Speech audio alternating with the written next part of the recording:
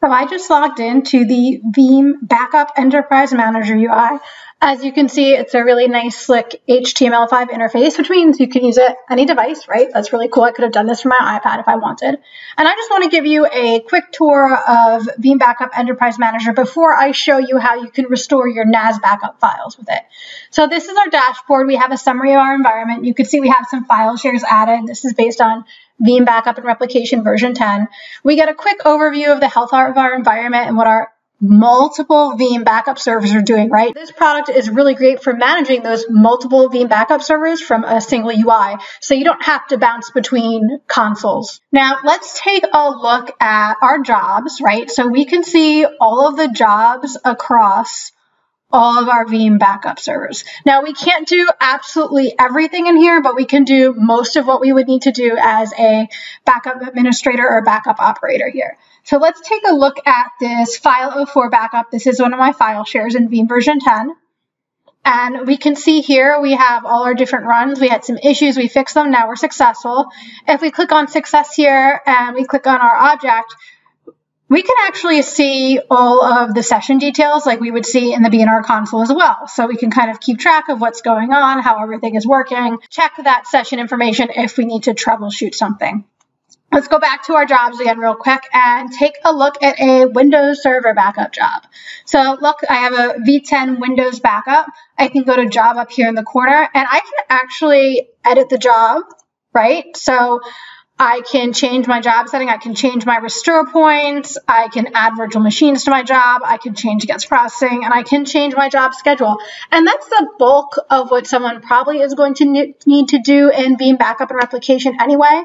And again, instead of bouncing between multiple consoles, you can just come into here and look at all your jobs at once. This is also a really good view for ops teams, right? Because we might want them to go in and be able to do some job stuff like run jobs, restore stuff, change those jobs a little bit, but we don't want them to have the keys to the B&R kingdom. So you can't do everything here, but you could do most of what a backup operator would need to, and we can even get more granular with permissions, which I'll show you in a different video. But right now, what we really want to look at is NAS backup, right? So let's go to our file shares here. We can see all of our different file share and file share jobs. So I have all of my backup jobs and I also have a job sending my one backup to a secondary site, right? So I have two copies of the data in this file share since it's really, really important. But let's click on one of these shares right here. Let's pick this one and we're going to click the restore button and see what happens. So we're starting file level restore and we do have a couple of restore options from Enterprise Manager. So we're going to click on our share here and soon we're going to see all of our files. So we can restore our file to the original location with this button or we can download our file right to the desktop that we're working with right now. So we're going to check this file, this Veeam Enterprise Manager secrets log, really, really super important, and we're going to download it. We're going to select the version of our file.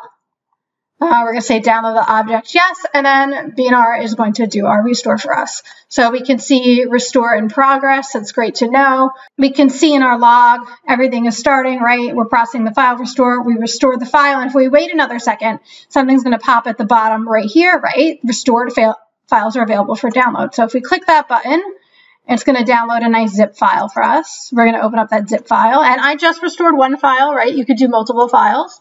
And we have our Veeam Enterprise Manager secrets blog, right? You should really be using Veeam Enterprise Manager because it is a super easy way to manage your jobs across multiple B&R servers, right? And it's also a great view to give to your backup operators. You might not want them to have the keys to the kingdom, but you want them to come in here and be able to manage jobs and file share restores and item restores and all that kind of good stuff. Backup files and Veeam Enterprise Manager.